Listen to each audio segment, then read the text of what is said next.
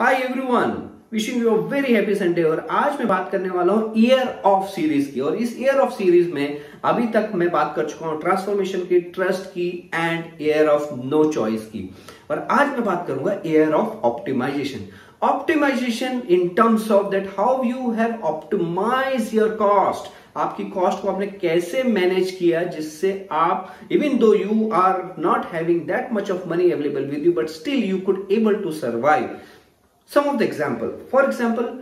if you have a tube light, you decided to change it and bring it LED in your system so that you can reduce the cost. If you are using, आप अपने घर में सारी pre Covid से पहले सब light AC सब चलाना शुरू कर दिए आपने ये देखा कि मैं अननेसेसरी चला रहा हूं कोविड के टाइम पे यू अंडरस्टैंड कि no we have to save cost we have to optimize the cost because if you are not going to optimize the cost you know जो हमारे पास लिक्विड बोले, जो चाहे हम अपने जीवन को आगे बढ़ाने की बात करें, उसमें कमी आ जाएगी। So we have to go for optimization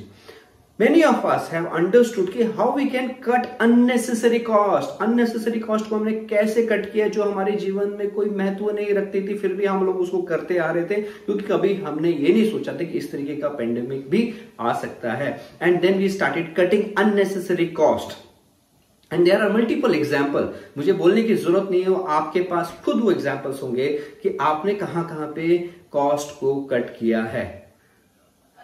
third चीज़ हमने इसके साथ ये भी सीखी जब आपने ऑप्टिमाइजेशन किया, आपने कॉस्ट किया then you have also understood that how to save money and how to save money में there are people though who not even saving the money now they understood how to save money why because when they started cutting unnecessary cost और जो उन्होंने cost की, उसके बाद जब pre Covid से बाहर आए तो दे अंडरस्टूड कि ठीक है अननेसेसरी कॉस्ट को अगर जो मैं पहले खर्चा करता ही था, अभी मैं नहीं करता हूँ तो where to put this money they started putting this money in their saving account for the future so last year have taught many thing of us stay tuned thank you very much listening to me and joining chain of life